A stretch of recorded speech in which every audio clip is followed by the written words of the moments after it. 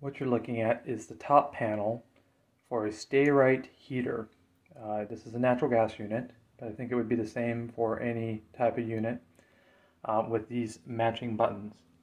The control panel is no longer functional. It's what they call a 42001-0055 and it's no longer made by the manufacturer. There's a generic, it's about $100 you can buy, but in my particular instance, I do not use the filter pump, the aux 1, aux 2 buttons. There is a generic version that does not have those that you can buy online, which seems to correlate to a number 42002-0029Z. Um, I was looking at the manual, and if you look, you can actually plug in a 6-pin version that disables automation, it says. So I'm thinking that those are the key buttons that would be available on every control panel. So I tried it. The other thing I did is you can actually push this yellow button right here and cycle through the potential controls that you would implement when you're turning the heater on through the control panel.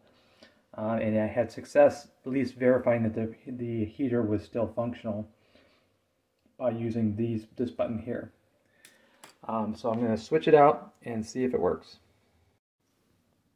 Make sure when you're installing it, the pins match the first six in the set closest to the button. So here's the old board that I took out, installed the new one. What I found was is if you hold it up to a light source, you can actually see the light properly through the holes to make sure you've got everything lined up properly. Now I'll take it outside and get it hooked up. Okay, so I've wired everything back up. There's a little close up here. Um, I haven't taken the, the heater back apart, but you have to, to permanently put this back in place, you need to use some cotter pins and you have to take the panel off, take the whole panel off. Um, so let's test it here. Make sure you turn the breaker off before you rewire it back up.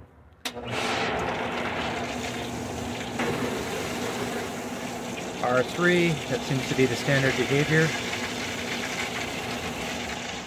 And now, with the spot on button. Snap up.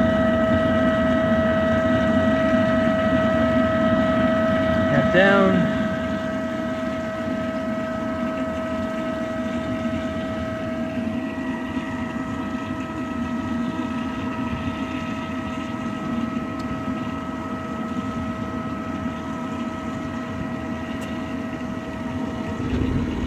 And one heater on.